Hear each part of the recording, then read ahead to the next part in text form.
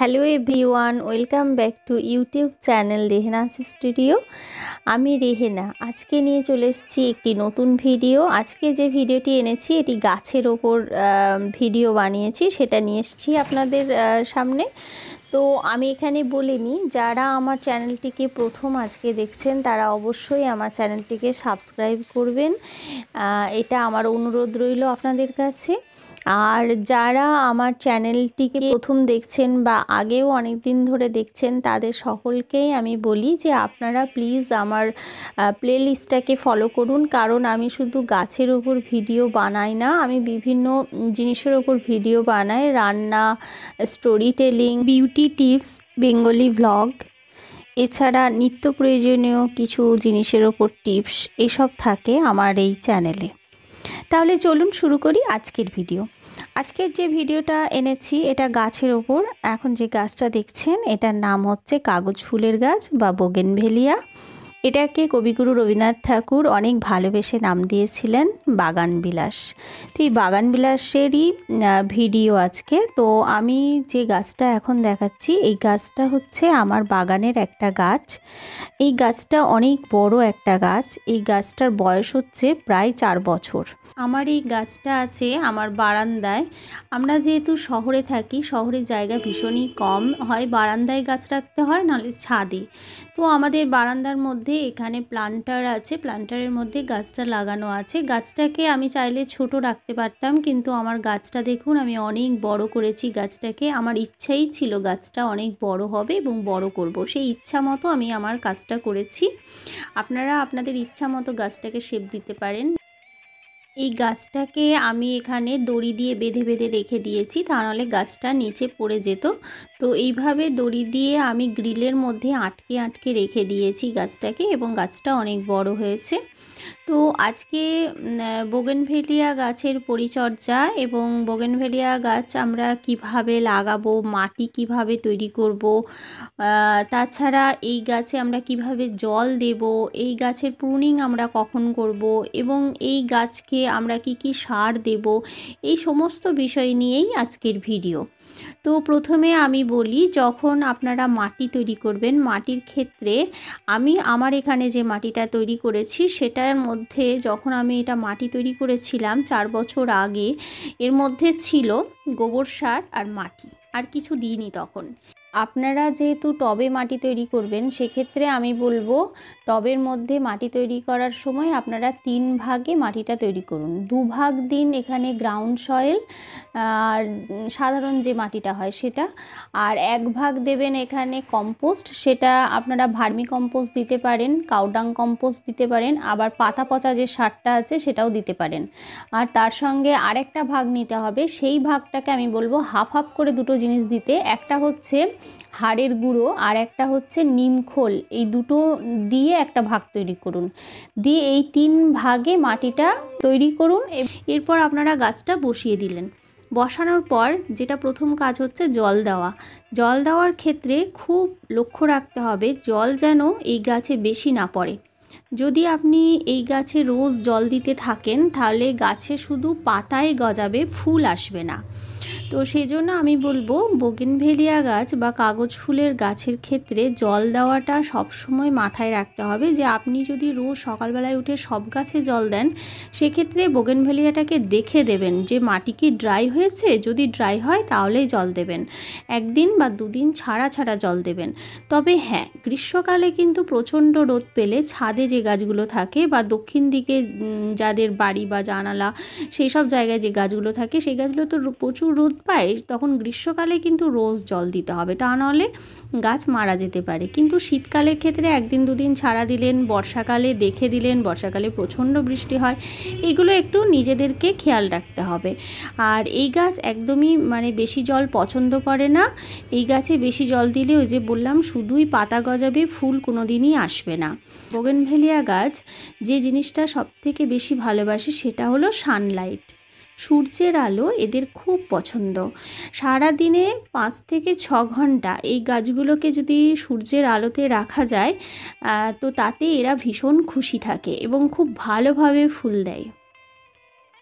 Bougainvillea গাছ একদিন বা দুদিন জল ছাড়া থাকতে পারে, কিন্তু সূর্যের আলো ছাড়া ওরা একদমই থাকতে পারে না। মানে সূর্যের আলো ওদের খুব পছন্দের। তো এটা একটু খেয়াল রাখবেন যাতে সূর্যের আলো ওরা ঠিকঠাক পায়। এরপর আসি বোগেনভেলিয়া গাছের প্রুনিং নিয়ে। কাটাই ছাটাই বা প্রুনিং এটা প্রত্যেকটা গাছের খুব দরকারি। গাছ যদি আপনি তৈরি করেন, তো সেক্ষেত্রে প্রুনিংটা মাস্ট তো এই প্রুনিং নিয়ে একটি ভিডিও আমি বেশ কিছুদিন আগে তৈরি করেছিলাম। সেই ভিডিওটির লিংক আমি ডেসক্রিপশন বক্সে দিয়ে দেব। আপনারা কেউ যদি চান, তো সেটা দেখতে পারেন। বোগেনভেলিয়া গাছের প্রুনিংয়ের ক্ষেত্রে বলি, যেমন ধরুন এই ডালটি। এই ডালটাতে প্রচুর ফুল রয়েছে। এই ফুলগুলো যখন আস্তে আস্তে ঝরে পড়ে যাবে, তখন আমি এই ডালটাকে কেটে ফেলব। কেটে ফেলার পর যেখান থেকে কাটবো, যেমন যেখানে আমি ধরে আছি, দেখুন ধরুন ওই ওই ডালটার আমি ওই জায়গাটাতে কেটে ফেললাম। কেটে ফেলার সাথে সাথে ঠিক তার আশপাশ থেকে আবার নতুন করে নতুন নতুন ব্রাঞ্চ বের হবে। আর যত নতুন ব্রাঞ্চ বের হবে, তত নতুন নতুন কুড়ি আসবে এবং নতুন নতুন ফুল আবার সেখান থেকে তৈরি হবে। তো সেই জন্য প্রুনিংটা খুব দরকার। বাগানভেলিয়া গাছের প্রুনিংয়ের ক্ষেত্রে বলব যখন দেখবেন ফুলটা ঝরে গেল, ঝরে যাওয়ার পরই প্রুনিং করে দেবেন। সেটা কোনো নিয়ম নেই যে আপনি এই মাসে প্রুনিং করবেন, ওই মাসে করবেন না সারা বছরই আপনি প্রুনিং করতে পারেন আপনার ইচ্ছা মতো। আর এই গাছটা ভীষণ হার্ডি একটা গাছ। যারা নতুন গাছ লাগাচ্ছেন সেই বাগানিদের জন্য বলব আপনারা বোগেনভেলিয়া গাছ দিয়ে আপনারা শুরু করুন। এই গাছটা খুব ইজিলি গ্রো করে এবং সেইভাবে কোনো পরিচর্যার দরকার পড়ে না। তবে পরিচর্যা লাগে। মানে সারা বছর ধরে আপনারা অনেক সময় অনেকে দেখি এত বোগেনভেলিয়াতে পরিচর্যা করেন, এত প্রয়োজন পড়ে না। তবে হ্যাঁ একটু তো কেয়ার নিতেই হবে। আর বেশি ফুল পেতে গেলে তখন তো কেয়ারটা বেশি নিতে হবে। কিন্তু অতটাও মানে অতটাও কঠিন নয়। খুব সহজভাবে দেখুন, গাছের সাথে সহজভাবে থাকুন, সহজভাবে পরিচর্যা করুন এবং সহজভাবে নিন ব্যাপারটা। তাহলে দেখবেন গাছ করা খুব সহজ। এমন কিছু কঠিন ব্যাপার নয়। তো এই এটা গেল প্রুনিংয়ের ব্যাপারটা। এরপর আমি আসছি গাছের সার। গাছের সার আপনারা কি দেবেন? তো সেক্ষেত্রে বলব এখানে যে জৈব সারগুলো হয়, সেইগুলো আপনারা ইউজ করুন। যেমন তরল সার এখানে ইউজ করতে পারেন। পেঁয়া পেঁয়াজের খোসার সার এবং ব্যানানা পিলের যে সার হয়, সেটা ইউজ করেছি এবং করি মাঝে মধ্যেই। আর তাছাড়াও আমি অন্য সারও ইউজ করি। যেমন ধরুন গোবরের যে সারটা হয়, এখানে যে কাউডাং কম্পোস্ট আমি দিই, সেটা সরাসরি দিই না। ওটাকে জলের মধ্যে গুলে মাসে একবার আমি ইউজ করি। কখনো আবার আমি এখানে যেটা ইউজ করি সেটা হচ্ছে সর্ষের খোলের সার। সর্ষের খোলটাকে পচিয়ে সেই সারটা এখানে ইউজ করি। সেটাও খুব ভালো রেজাল্ট দেয়। গাছে ফুল আসতে ভীষণই হেল্প করে। তো এই ধরনের সারগুলো আপনারা এখানে ইউজ করতে পারেন। এই ধরনের জৈব সার ইউজ করতে পারেন। আর রাসায়নিক সারও কিছু আছে যেগুলো আপনারা এখানে ইউজ করতে পারেন। আমি পরে একটা আবার ভিডিও বানাবো। সেটাতে আপনাদেরকে বলে দেবো কি কি রাসায়নিক সার এখানে আপনারা ইউজ করবেন। দরকার হলে আমি হাতে কলমে আপনাদেরকে দেখিয়ে দেব। আমার নেক্সট একটা ভিডিও আসছে খুব তাড়াতাড়ি, যেটার মধ্যে এই সব গাছে কি করে বেশি বেশি ফুল আনা যায়। গাছে পাতা থাকবে না, কিন্তু ফুল থাকবে। তো সেই নিয়ে একটা ভিডিও আমি নেক্সট আনব। তো সেটাতে আমি বেশ কিছু রাসায়নিক সারের উল্লেখ করব, সেগুলো আপনাদেরকে দেখিয়ে দেব। তো সেটার জন্য নেক্সট ভিডিওটা দেখার আপনাদের আমন্ত্রণ রইল। আর এই গাছে সার আর সেরমভাবে কিছু লাগে না। এই যে আমার ফুলের যে কালারগুলো আপনারা দেখছেন, এই কালারগুলো আনতে কিন্তু জৈব যে তরল সার, পেঁয়াজের খোসার সারটা, এটা ভীষণ মানে ভীষণ ভীষণ ভালো সার একটা। কালারটাকে খুব সুন্দরভাবে নিয়ে আসে এই সার। তো কালার আনার জন্য পেঁয়াজের খোসার সারটা ভীষণই ভালো। এটা আমি আরও একবার বলছি, কারণ এই কালারগুলোর জন্য কিন্তু আমি এখানে পেঁয়াজের খোসার শাড়ি অনেকবার ইউজ করেছি। এগুলো মাসে দুবার ইউজ করতে হয়, পনেরো দিন পর পর যে কোনো সার। তবে খোল পচার যে সারটা, সর্ষে খোলটাকে পচিয়ে যে সারটা হয়, সেই সারটা এবং যে গোবরের যে সারের কথাটা বললাম, যেটা জলে গুলে আমি দিয়েছি, এই সারগুলো কিন্তু মাসে একবার ইউজ করতে হয়। সার কিন্তু বেশি ইউজ করাও আবার ভালো না। তাতে গাছ মারা পর্যন্ত যেতে পারে। তাই গাছ গাছে যখন সার ইউজ করবেন, তখন কিন্তু খুব সাবধানে। ধরুন আপনি তরল সার ইউজ করছেন, তখন আপনি মাসে দুবার ইউজ করলেন, সেটা পেঁয়াজের খোসার সার হোক বা কলার খোসার সার হোক, সেগুলো মাসে দুবার ইউজ করলেন, পনেরো দিন পর পর। আর যখন আপনি গোবর সার ইউজ করছেন বা খোল পচা সার ইউজ করছেন তখন এগুলো মাসে একবার ইউজ করবেন। দরকার হলে দু মাস পর একবার ইউজ করবেন। এবং ইউজ করার ক্ষেত্রে পরিমাণটা দেখে নেবেন যে কতটা ইউজ করছেন। তো খুব বেশি ইউজ করবেন না, তাতে গাছ কিন্তু মারা যেতে পারে। আর আমি এখানে আর একটা কথা বলি যে, এখানে কিন্তু এই বোগেনভেলিয়া গাছে পোকামাকড় সেভাবে লাগে না। তাই এখানে কোনো পেস্টিসাইড ইউজ করার দরকার নেই। শুধু শুধু পেস্টিসাইড ইউজ করে কোনো লাভ নেই। কখনো কখনো মাঝে মধ্যে একটা দুটো ছোট ছোট কালো এক ধরনের পোকা দেখা যায়। সেক্ষেত্রে আমি বলব, নিম তেল জলের মধ্যে গুলে ইউজ করুন।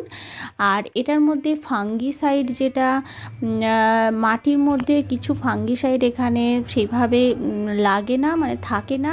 গাছের মধ্যে কখনোই আমি ফাঙ্গিসাইড এখনও অবধি আমার গাছগুলোর মধ্যে দেখিনি, তাই ফাঙ্গিসাইডও এখানে ইউজ করতে লাগে না। যদি দেখেন যে দরকার আছে ফাঙ্গিসাইডের পোকামাকড় নিচে লেগে গেছে, তাহলে আপনারা এখানে নিম খোলটা ইউজ করতে পারেন।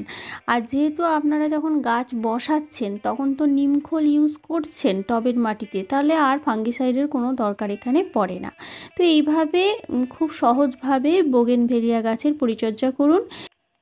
এই বোগেনভেলিয়া গাছের ক্ষেত্রে আমি যে বললাম, জল একদিন দুদিন পরপর পর দেবেন, তাতে ভালো। এটা তো বললাম, কিন্তু একটা জিনিস মাথায় রাখতে হবে যে বোগেনভেলিয়া গাছে বোগেনভেলিয়া গাছে যখন ফুল চলে আসছে, সেই সময় কিন্তু জল দেওয়া বন্ধ করবেন না। তাহলে কিন্তু ফুলগুলো তাড়াতাড়ি ঝরে সব মাটিতে পড়ে যাবে। তখন কি করবেন? মানে রোজই জল দিতে থাকবেন, একটু একটু করে জল দিতে থাকবেন। যত মানে এখানে জলটা রোজ যদি পড়ে, তাতে কি হয়? ফুল অনেক দিন ধরে গাছের মধ্যে থাকে, ফুল ঝরে না। আর জল কম হলেই তখন ফুলটা তাড়াতাড়ি ঝরে পড়ে যাবে। তাই ফুল আপনি বেশি দিন রাখতে পারবেন না। আর এই ফুল যখন আপনার বাড়িতে ফুটবে তখন দেখবেন মনগুলো কীরকম আনন্দে ভরে উঠবে কত ভালো লাগবে। তাই বেশি বেশি করে গাছ লাগান ফুল ফোটান আনন্দে থাকুন। তো আমার ভিডিও আজকে এই পর্যন্ত। আশা করি আপনাদের খুব ভালো লেগেছে। যদি ভালো লেগে থাকে অবশ্যই ভিডিওটি ছাড়ার আগে একটা লাইক কমেন্ট এবং অনেক অনেক শেয়ার করবেন। আর অবশ্যই যারা এখনও চ্যানেলটিকে সাবস্ক্রাইব করেননি, প্লিজ সাবস্ক্রাইব করবেন। আজ তাহলে আসি, নেক্সট কোনো একটি ভিডিও নিয়ে আবার আপনাদের সাথে দেখা হবে। সকলে ভালো থাকবেন, সুস্থ থাকবেন, আর অনেক অনেক অনেক গাছ লাগান।